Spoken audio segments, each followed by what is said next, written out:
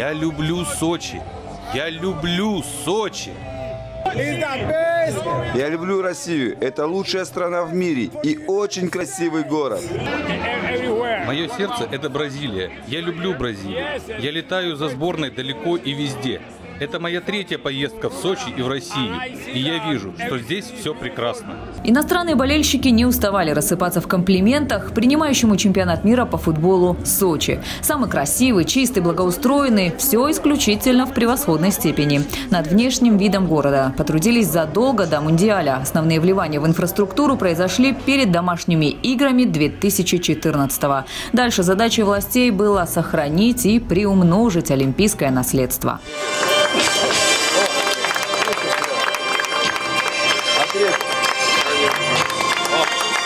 Парк в микрорайоне Макаренко стал очередным шагом в вопросе благоустройства Сочи и подарком горожанам к 80-летию Краснодарского края.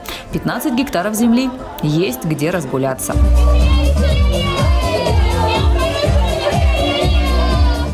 Месяцем позже, в честь уже другого события, Всемирного фестиваля молодежи и студентов, власти торжественно презентовали сквер в микрорайоне Фабрициуса. Он появился на месте пустыря. Буквально из пепла возродилась фитофантазия, плод творчества сочинского ландшафтного дизайнера Сергея Винчегова. Мы муниципальное образование. И тех денег, которые у нас есть, а это 11 миллиардов э, рублей на год, это, конечно, крайне мало.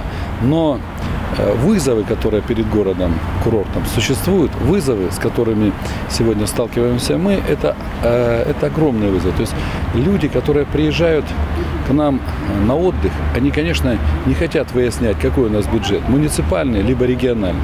Гости хотят видеть город-сад, и Сочи оправдывает их ожидания ценой собственных усилий и бюджета. Помогают бизнес и рядовые горожане. На их счету множество совместных проектов по благоустройству курорта. Уникально в этом плане сочинский опыт приехали перенимать коллеги из самого большого района России – Всеволожского, что в Ленинградской области. Чистый Сочи начинается с себя. Мне очень понравился этот слоган, и я в этом бренде хотела бы вот даже научиться жить и у нас.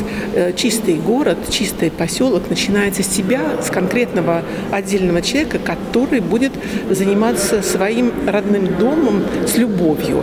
И это, вот эту любовь мы увидели у Сочи. А власти могут направить и помочь, как это делает сочинская администрация и городское собрание. К слову, все Воложские районы Сочи начали сотрудничать год назад. Взаимодействие оформлено официально, подписано соглашение, в рамках которого муниципальные образования и дальше будут обмениваться опытом. Инга Габешия, телекомпания «ФКТ».